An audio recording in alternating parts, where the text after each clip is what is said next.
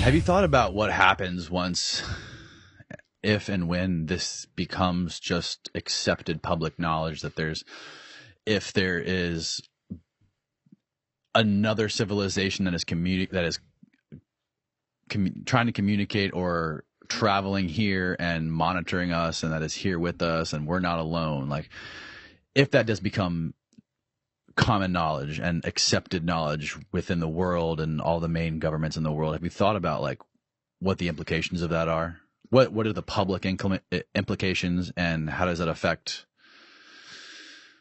wars and military and Yeah. I don't have the answer for that uh, entirely, but I will say that I know there are efforts underway uh, to form uh, certain organizations that will study this from a more broad perspective like that. Um, course, within the AIAA, I'm focusing on science and engineering around this topic. Uh, but I think we'll hear soon about some other efforts that consider, you know, the sociological implications of this, that uh, include the economic implications of this, the xenopolitical nature of this.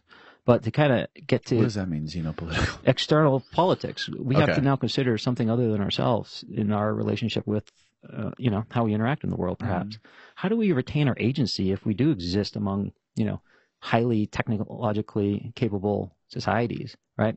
I, I think that's really what it boils down to. If we do come to terms with this, is that how do we maintain our dignity and our sovereignty in such an environment? And I think, I think, um, truly, we have, well, I think that's what it boils down to, really. How do we interface on perhaps a stage like that as the weaker candidate, but with the self respect that we should have in order to operate at that level? Mm. Uh, these are the conversations and the questions I think that we'll be able to explore in a more organized manner once we kind of get past this this uncertainty phase. You know, this very there's so many more questions than there oh, are answers That's the, that's gonna be to the fun part. Can't wait. I mean, it's it's scary. It's scary to think about what could happen because obviously, you know, human the human mind goes to all the fear first. Like, what could the worst? What would the worst case scenario be if the public knew that? Okay, that we're not everything. There's other beings here. Would the economy collapse? Would what would happen to religion? Like, it's it's I think we'll unfathomable. okay. It's unfathomable. I think we will do okay. I really do. I think that one of the reasons that perhaps this is an okay time for this is that our society is uh, measured in some sense right now by how fast we change, how fast our technology advances. And we see it all the time. Our society and our, our social standards don't necessarily keep up with the technology. Our technology is created Yeah. and then we try to find a way to live with it in a sense. I don't think this is going to be much different in a sense. I think as long as we can retain our agency and our self respect in a manner like we were just talking about, that we're going to be able to integrate that information because really that's just, you know, that's how the modern person lives right now. Every year there's new technology and, and something different. Um, not to mention the, the state of the world in some sense with COVID and everything else that's been going on. I think people's comfort in reality has been shook a little bit by the events of the past five to eight years. And if you did want to introduce some drastically different knowledge, I'd suggest that this would probably be a good time as the shock would be lessened. hmm Yeah, I am optimistic about it to an extent. Just you know, hearing some of the stories, it doesn't seem like these things, if they are from a different civilization, are a threat to us. It doesn't seem like they are here for bad. They don't have any any malintentions, especially when you hear, you know, some of the most fascinating things to me is is how there's been a, large number of sightings near schools, and you know, with young children seeing these things and reporting these things. And I don't know if you're familiar with the, uh, the, the Zimbabwe, the Ruwa school in Zimbabwe back in the early 90s. Mhm. There was something that landed and there was like 30 or 40 school children that all witnessed the same exact thing. And there was, uh, uh, that famous Harvard psychiatrist who interviewed them all and Mac.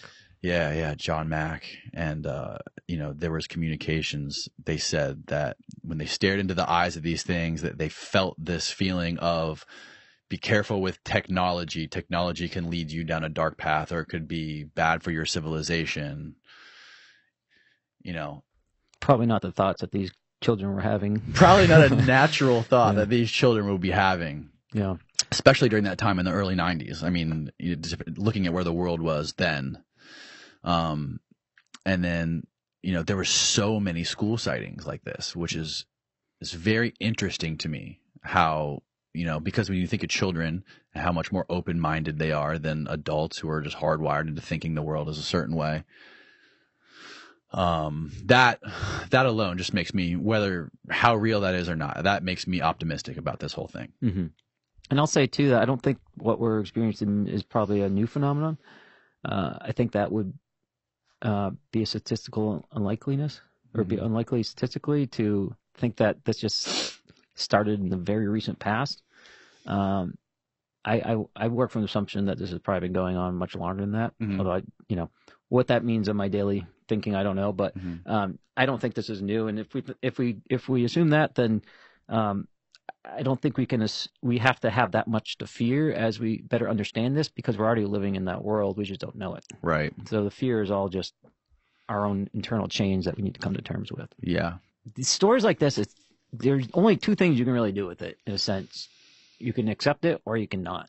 hmm And I think a lot of people choose the latter, uh, like maybe perhaps a school teacher, because it's almost like a cognitive dissonance in a Mm. sense where y- you just you cannot process that information and continue about in your normal life immediately, and so your brain just kind of dismisses it as either confusion or temporary Yeah. stupidity or what have you Yeah. and go about their lives. And I've noticed that in this conversation that I've been having more broadly about this topic. Sometimes there's just people that, and you, one of the best ways you can identify them is as soon as you mention something quote unquote aliens or just different or UAP, just immediate laughter, right? Like a, the the first reaction is a ha, you know, like a, and then they like realize you're not laughing and and then they kind of like oh okay, but they don't know how to move forward from that point because they're not ready to integrate that into their reality yet. I truly think people really do live in their own realities, yeah. right? You create your you create your perception of the world in your brain, right? And you do that based on your experiences, whether they're true or not, right? Mhm. And um, a lot of times, I think people use that uh, kind of mentality to protect themselves from this type of information, almost as a protection uh, mechanism, where it's just too outside, you know, their scope of every day for them to really like just stop and integrate it because it's just too much. Right. It's too much and, and we're busy. Yeah, We're busy. We got shit to do. yeah. Right. Like it's almost the same thing that you dealt with in the Navy in a way. Oh, yeah, hundred percent. It's exactly the same way. We got missions to do. We got this. We got that. I want to promote. I want to do this. You know, I want to eventually get home and see my wife. And, Right. People are just so focused on their day to day lives and what they have to do in the next hour and staring at their phones on social media. Mm-hmm. I mean, like, And we were. I mean, that was even true for us as fighter pilots when we were literally in the sky looking at these objects, right? Which bad on us, but you know, we only have so much fuel and X, Y, and Z, and there's a lot of reasons why that is the best. You know, that was the right answer. of course. Yeah. But it doesn't prevent me from looking back with a little bit of regret, wondering what we could have learned if we paid more attention at the time. hmm